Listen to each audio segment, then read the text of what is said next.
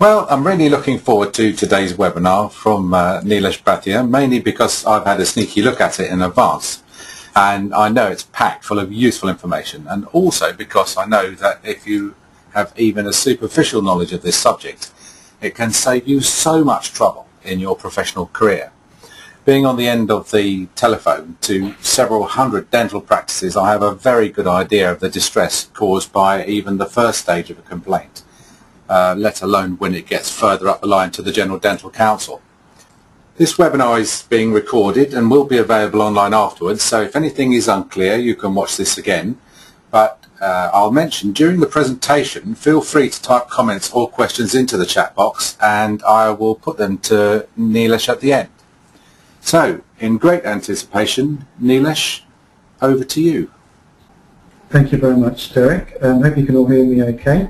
Um, as you can, I'm just going to share my screen with you so you can see the the slides that I'm going to be working through, um, which are just, just the bullet points so I can talk around those issues. Um, the first thing, first slide is just to show you roughly what I'm going to try and cover within the next um, 30 minutes or so. I may, may not need that long, but I'm happy to answer any questions you have at the end.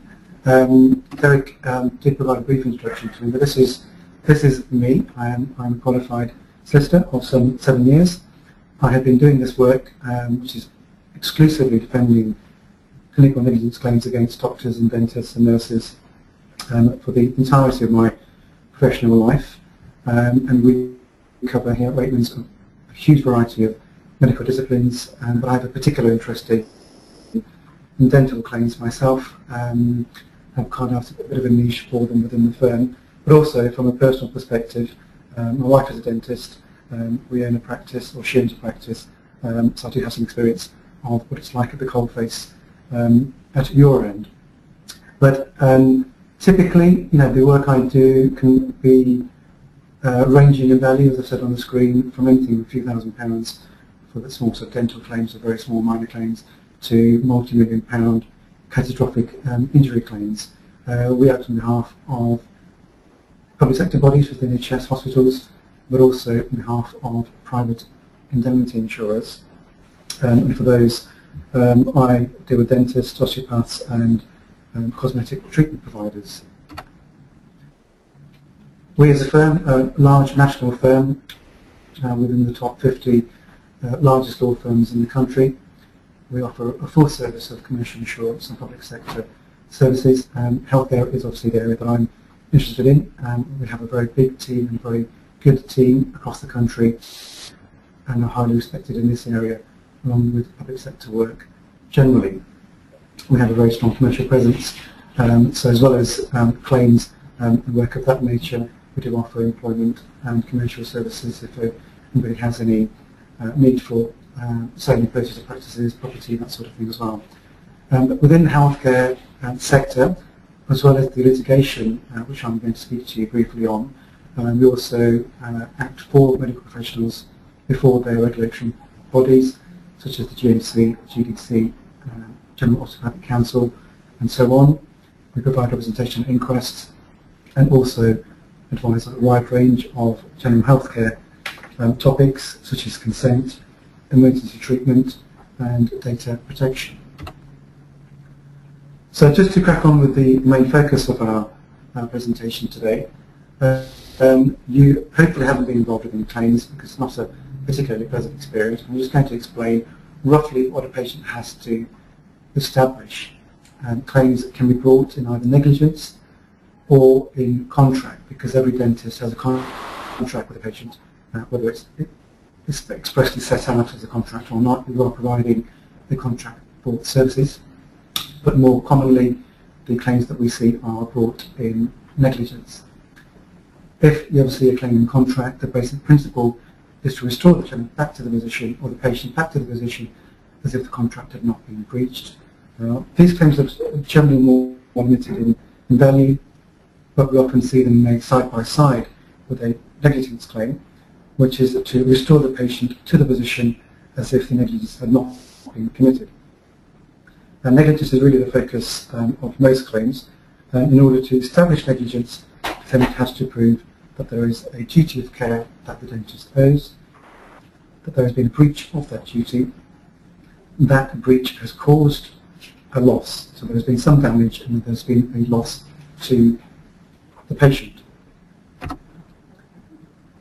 You may be familiar with the Bolam principle from any courses you've been on or from when um, you studied dentistry at undergraduate level, the BDS.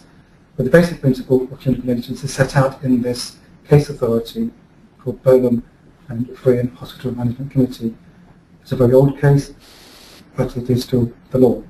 And I just put on there the quote from the leading judgment by the judge in that, in that case, um, which I'll summarise briefly, which is basically that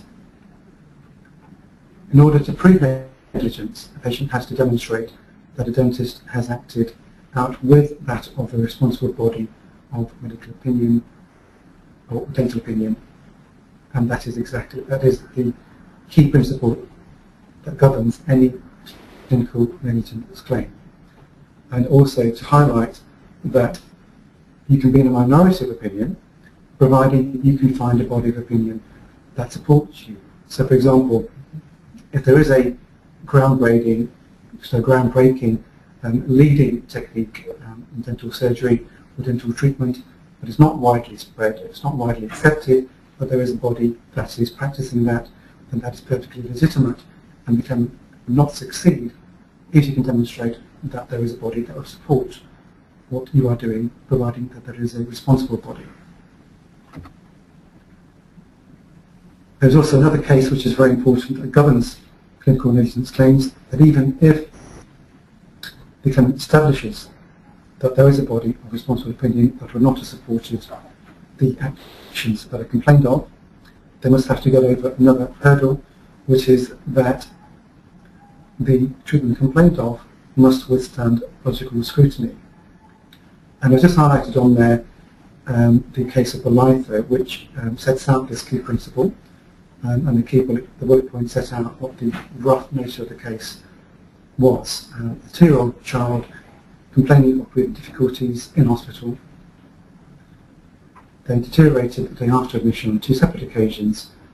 The nurse called the doctor on the telephone but the doctor did not attend. On those two occasions, the child recovered according to the records, but at a later stage, the child suffered from cardiac arrest and acquired brain damage. The doctor who was telephoned earlier but did not attend gave evidence to the effect that even if she had attended, she would not have intubated the child as was alleged should have been done. The allegation was that the child should have been intubated in order to avoid the damage and to restore the breathing. Therefore, the court held that a body of opinion would not be responsible what the court finds illogical or unable to withstand analysis. So even if she had attended, it would have not made any difference to the outcome because she would not have done what was alleged should have been done. And that was perfectly reasonable. So in this case, the breach of duty element was established, but not the causation element. And just following on from that, this is exactly what the three components of negligence down to establish breach of duty, and that this materially contributed or caused some harm. There has to be some loss in order for them to receive any damages, and all three components, breach, causation and loss, must be satisfied for there to be a valid claim. Now, this slide just sets out some of the common allegations in dental claims that I have worked on, and none of those should be a surprise to you, um, but I'm just going to run through them very briefly. A very common one is a failure to obtain informed consent. Now, consent is a law, area of law all by itself, but um, you'll be aware that a patient must give consent, must give valid consent in order for you to perform any treatment. Now, some of this can be implied, so please open your mouth, or I'm just going to do this, um, and providing there are no objections to that, you couldn't do your job unless the claimant did give implied consent. Um, in other cases, you would have to have express written informed consent um, demonstrated by a consent form or some other way of demonstrating that the patient has received the information in order for them to take a decision on their treatment. Another very common area of negligence, or alleged negligence, I should say, um, is that not enough radiographs are taken or the ones that are taken are not adequate.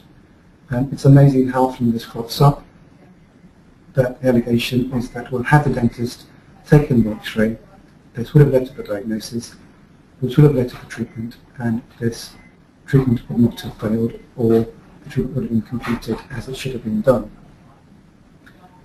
It's also not uncommon for dentists to treat the wrong, wrong tooth. Again, mistakes can be made, um, but that is something to be aware of. I've had cases where the wrong tooth has been extracted uh, in error, um, and that's the sort of case that we can't really defend very robustly. Another common area is the choice of treatment or the execution of treatment is poor, um, and this often comes down to expert evidence as to whether, um, for example, you know, root canal treatment should have been offered or not, a crown should have been offered or not, an implant should have been offered or not, or exactly what the best course of treatment for that, this particular treatment, uh, for this particular patient was.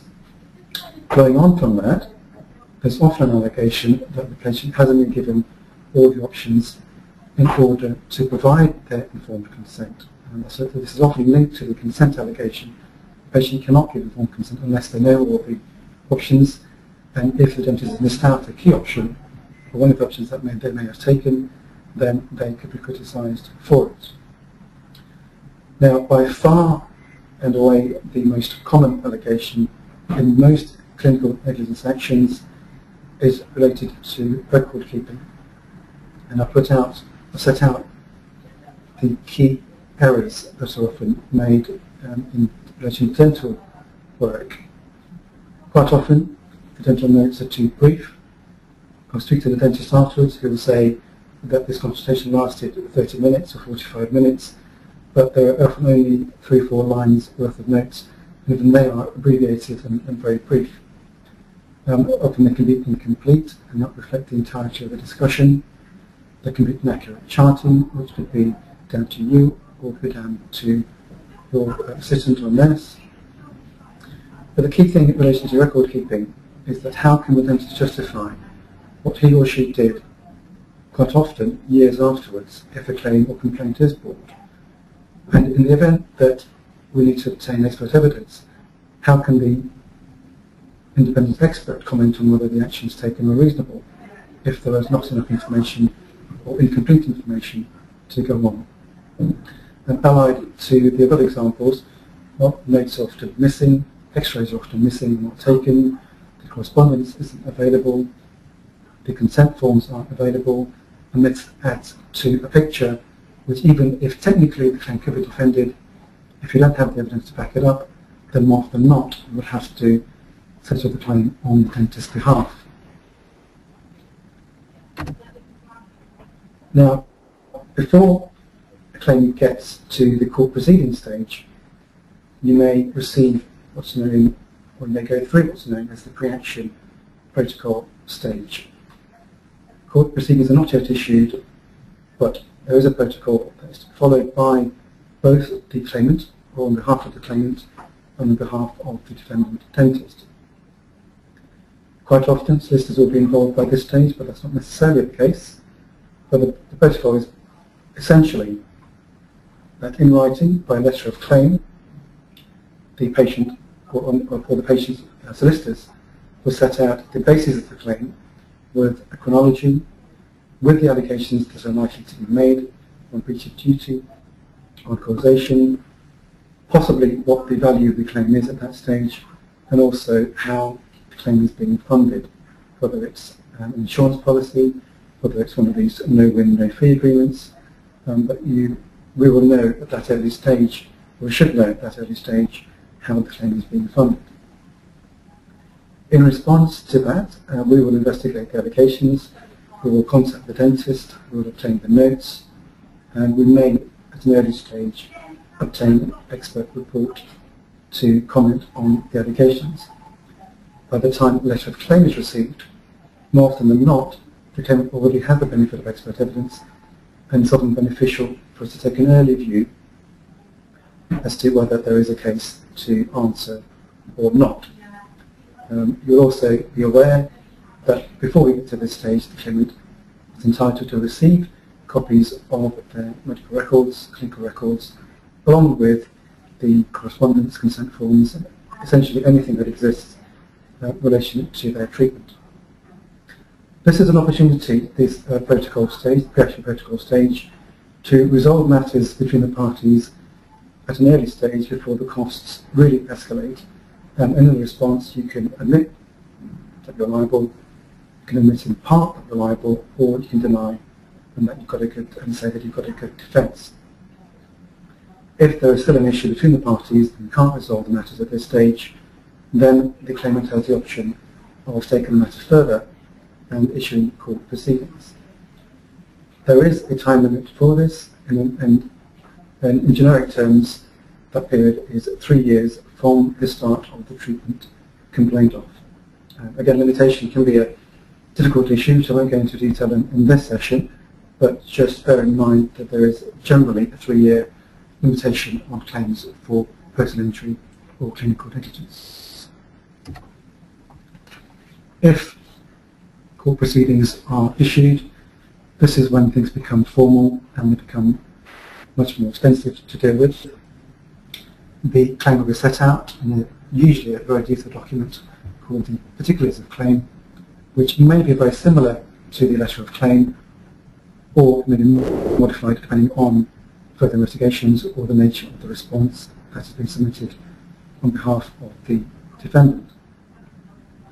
Usually with the particulars of claim we will receive a schedule that sets out roughly what the claimant um, is seeking to recover in terms of financial loss and a report from an expert which gives the claimant's prognosis, the current condition and future prognosis. At this stage we will not see the liability report which sets out why the expert thinks that the dentist was uh, could be criticised or was negligent. We'll only see the prognosis report at this stage. And again, similar to the uh, of response, we have the opportunity to put forward the dentist's defence with or without the benefit of expert evidence, and we are obliged to respond to each and every allegation that is made in the particulars of claim. The next formal stage is the exchange of witness statements, which would be on behalf of the dentist or the nurse or both, um, and that sets out the factual position and we'll literally exchange it by sending your statement um, or the dentist statements in the post uh, we'll receive the patient statements in response at the same time. The next formal stage is exchange of expert evidence where again literally we put our expert report in the post and the patient solicitors do that on the same day and everyone sees what each other's cases are at the same time. The next formal stage is the experts of the respective parties will meet to narrow the issues as much as possible, and they will either agree or disagree on, on um, the issues that are set out in the uh, particulars of claim and the defence. The schedule of loss will be finalised, which sets out the claimant's claim, and we can put forward our own cash schedule to say, we agree that she needs the implant, but we only agree it's going to cost this much, or we agree that she needs one implant rather than three and this is what the cost should be. And again, you know, we review the evidence at every stage, and only as a last resort will a matter proceed to trial. It's already aware any cases get to trial. It's very stressful, it's very costly, and lawyers' jobs are generally to try and keep cases out of court, if possible. This is contrary to the popular opinion, but if the claimant has a case, then we should be settling it. If they don't, then we should be persuading them to go away. So the trial is very much a last resort, and I would estimate less than 1% of cases ever get to the door of a court. But the costs can be substantial as you get up to trial.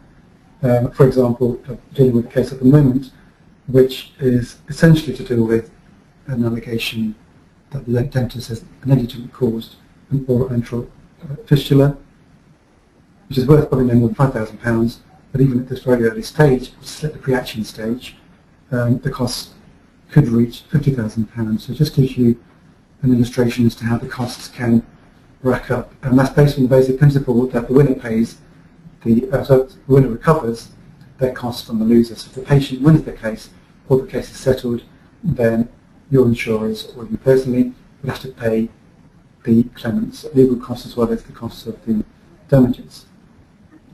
The value of a claim can vary hugely, um, but they're essentially composed of general damages, which is for the pain and suffering, or special damages, which is the out-of-pocket financial expenses. And I've set out the, the key areas that are often claimed in relation to dental claims. So, for example, um, if the cost, uh, so if the claimant needs further treatment to rectify what has gone wrong, then they're entitled to recover that, as well as, as well as any ancillary expenses, such as loss of earnings if they've had to take time off work have that work done, and so on and so forth. The next three slides just give you a flavour of the types of awards that can be awarded. And we'll just leave that on there for a minute just so you can read it. But this is a fairly low value and fairly typical kind of claim. This was a, an eight-year-old girl who had the four upper teeth extracted rather than the four lower teeth. Um, and you'll see from the slide that she suffered from physical discomfort, and sensitivity, impaired appearance given her age, and some speech impediments, um, and for a child, and the fluid dentist uh, exacerbated because the wrong teeth were extracted. So that settled in 2007 for the equivalent of about £4,000 um, in today's money. The next slide is a slightly more complex, uh, complex case uh, and a higher settlement. But again, this was an out-of-court settlement. Uh, these aren't my cases, by the way. These are just cases that have been reported um, and are available to, uh, to lawyers generally. Um, and again, you know, um, between you know, sort of seven or eight years, this, this case, this uh, delegation's uh, spanned. Um, you see the brief nature of the case on the slide. An older patient this time, 52-year-old woman, and she received £14,000 um, in an out-of-court settlement. And you see the nature of the allegations there at the bottom and why that case may have been settled. The next slide is a much higher value case, £123,000, treatment spanning some 20 years.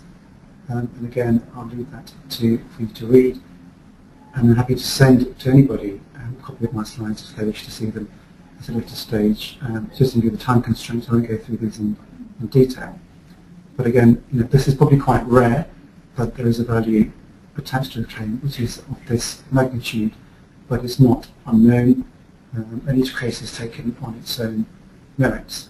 But for a case of this nature, obviously large number of teeth, long period of treatment, a lot of suffering, and a lot of remedial work.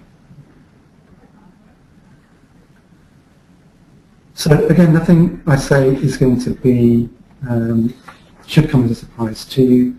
It's not, there's nothing magic in what I'm saying, but in terms of handling complaints and, and claims, um, the key thing is to try and nip it in the bud at a very early stage.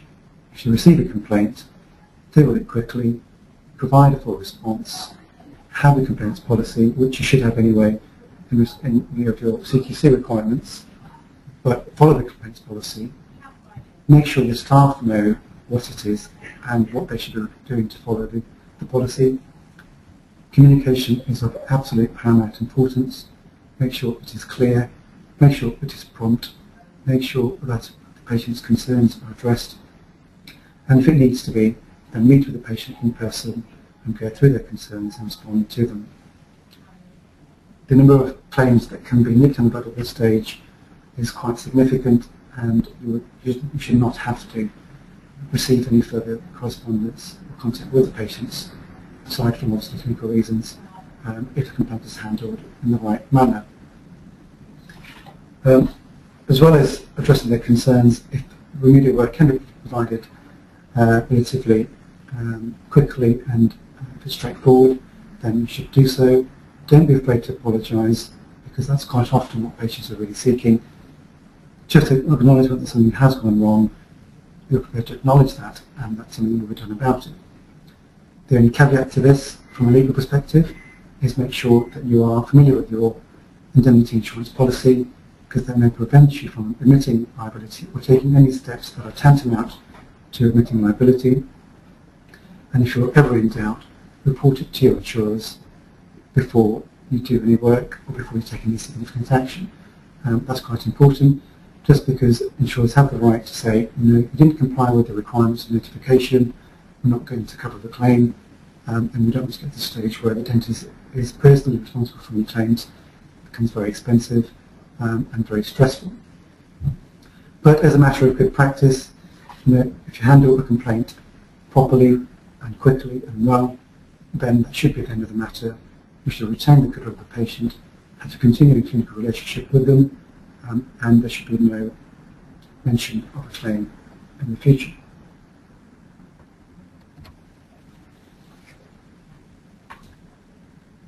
And just following on from that, I've mentioned communication and the importance of that.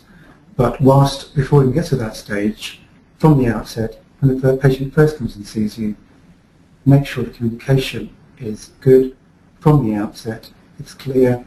Everyone knows exactly what is going to be done and why give an honest, comprehensive appraisal of the state of their teeth, um, give them all of the treatment options with the relevant costs, so there can be no doubt they know exactly what's going to happen and why and what's going to cost them.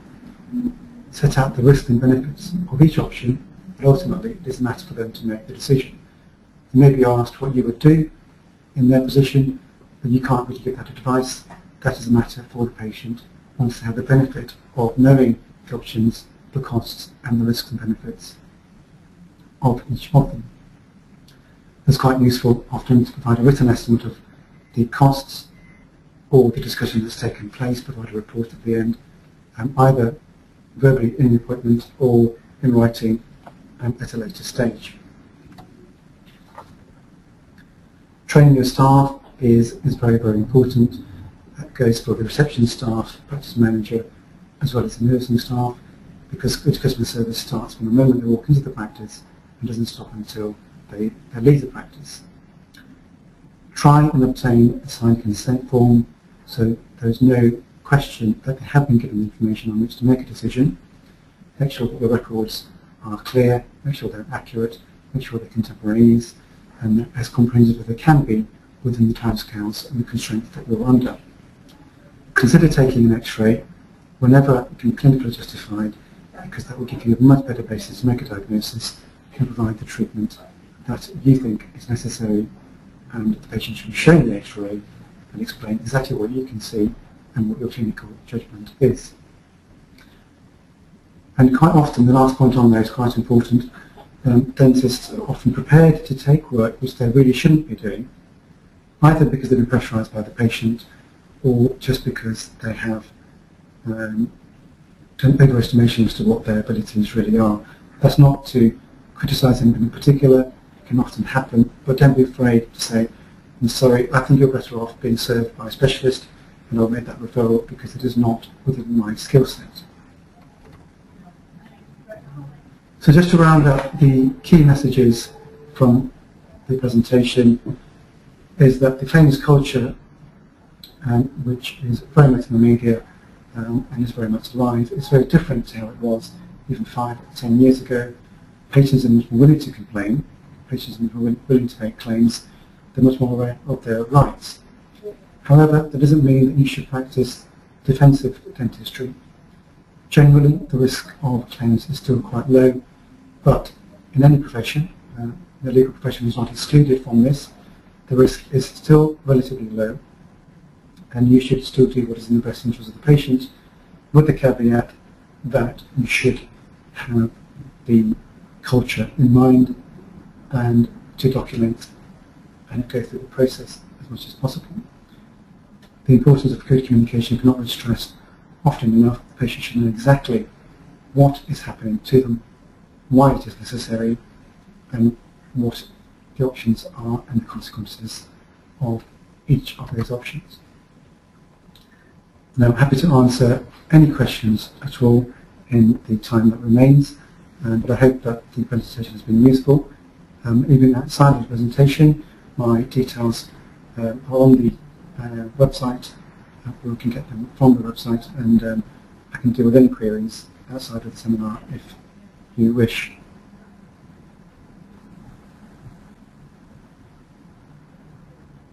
That's great, Nilesh. Thank you very much. Uh, I, and thanks for sharing your um, expertise with us. The uh, webinars are an excellent opportunity, I think, for people to get the benefit of uh, the expertise of the people who are really sort of working close to the, in your case, the complaints machinery. If I could just ask you a question, and then we've got a couple of questions that have been put to us by the audience.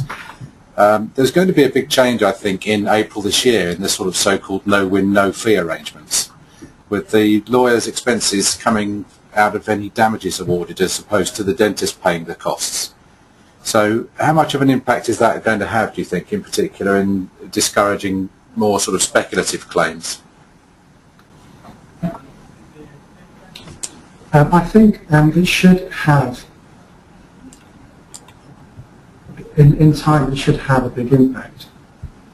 I think it may, may take some time for the implications of that, of, of the change in the, the process to filter through, um, because there's going to, there are going to be a lot of claims which are going to be issued in court um, before the 1st of April, um, which will still run through the course um, in, the, in the system. But um, overall, we're, we're, hoping that claims bills should go down, and hopefully the number of claims that should be should be reduced because there's much less of an incentive for those claims to be brought. So that, that's very much the picture at the moment. We're still waiting to see the impact, but the theory is that there should be less claims, fewer claims, um, and the cost of those claims should come down. Now we've had a question from uh, a member of the audience who says, why if most claims are under £100,000 are people insured for £10 million or some other, I mean, uh, amazing sum? Because all of the, some of the things you did mention, like uh, being represented at inquests and uh, being involved in yes. cases where multiple deaths are ensue, uh, really don't apply to dentists, do they? They do tend to have the smaller claims. You're right, they, they do absolutely. I think um, um, from I don't know the exact figure, um, but I think there is a minimum requirement from the GDC as to what your insurance levels should be, um, and I think the, insurance policies generally follow that. But I've seen insurance policies that provide, up to, say, 10 million pounds worth of cover, um, and the reason for that, again, highly unusual, I would have thought, in dental claims, but certainly for personal injury claims, um, you know, it's not unknown for a claim to reach the millions of pounds.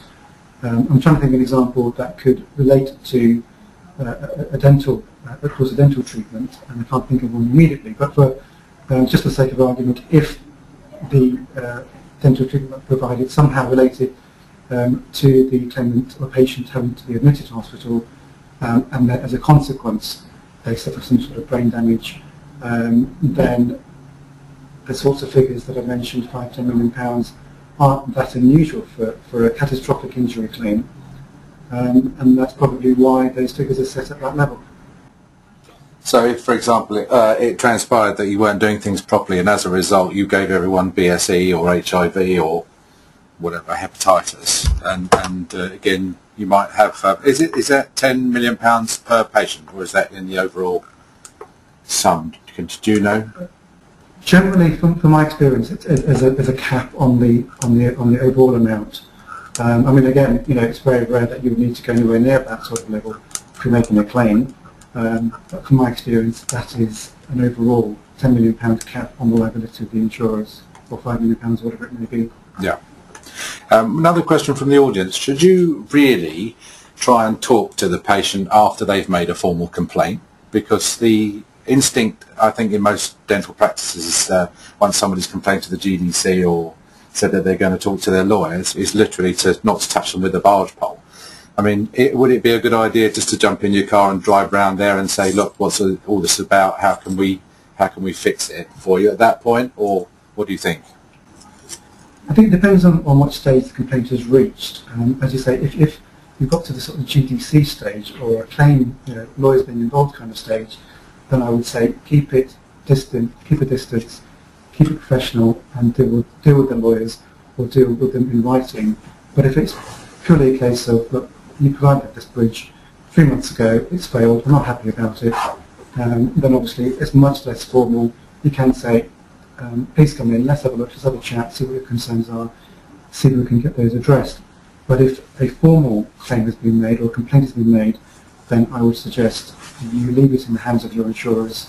That you need to speak to, uh, if you need to correspond with the patient, um, then to go via their lawyers or via your insurers, um, but keep it formal. Okay, um, we, have got another question in, uh, and that's from someone who's saying that um, you said in the presentation that uh, you should always uh, go to the insurers early with a problem, um, but um, there are there is one particular um, insurer who I will call uh, Medical Defence Union because that's what they're called, mm-hmm. um, who yeah. are well known for treating every notification as a claim and then claiming, you know, and then saying at the end of the year, no, you've had 12 claims, uh, we're not going to renew. So there is a little bit of a disincentive, isn't there, to go running to the indemnifiers at an early stage. So exactly, you know, when when do you think is, you know, is a good a good time to go?